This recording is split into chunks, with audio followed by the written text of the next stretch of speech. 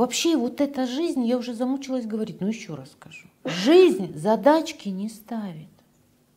Жизнь это просто течение. Человек отличается от какого-то примата и вообще ну, от животного мира.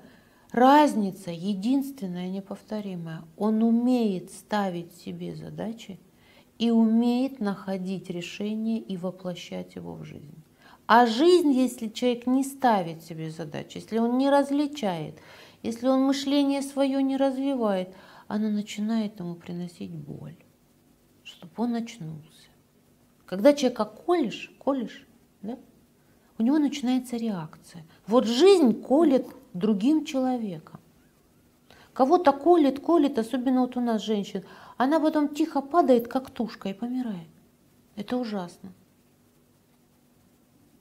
Вот это бесконечное терпение боли, с которой надо справляться, когда нужно учиться защищаться, когда нужно учиться кому-то отстаивать, говоря или показывая свою позицию. Да, это не просто, но по сравнению, как жить жертвой, это ужасно. Быть жертвой – это ужасно.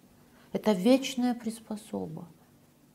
Это вечная вот эта питающая не пойми кого Женщина, которая никогда не позволила себе просто так что-то. Выйти на улицу и погулять, потому что она решила.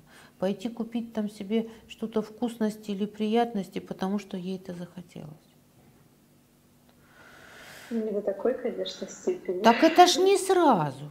Как алкоголиком человек не сразу становится мужчина или женщина. Это же сначала потому, что хочется расслабиться. Потом потому, что стресс. Потом потому, что праздник. Потом вообще рот закрой, мне тяжело.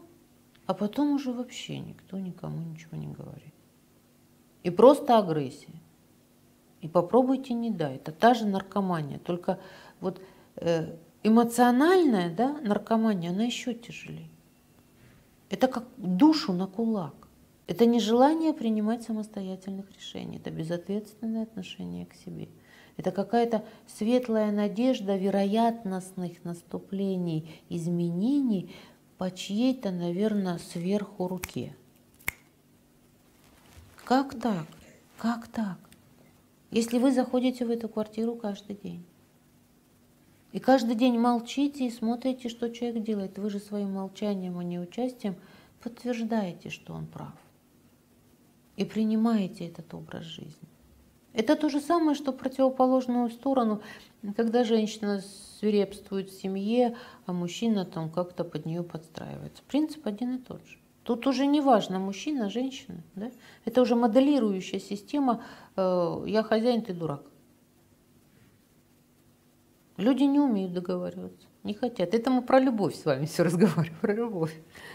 Да я вообще сейчас в шоке сижу,